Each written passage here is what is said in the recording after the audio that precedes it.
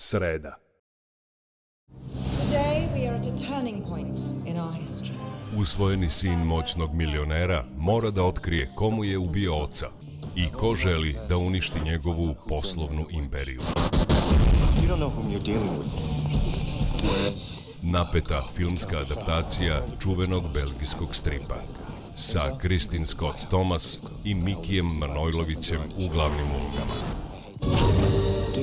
Largo Winch, sreda 23.30 RTV1.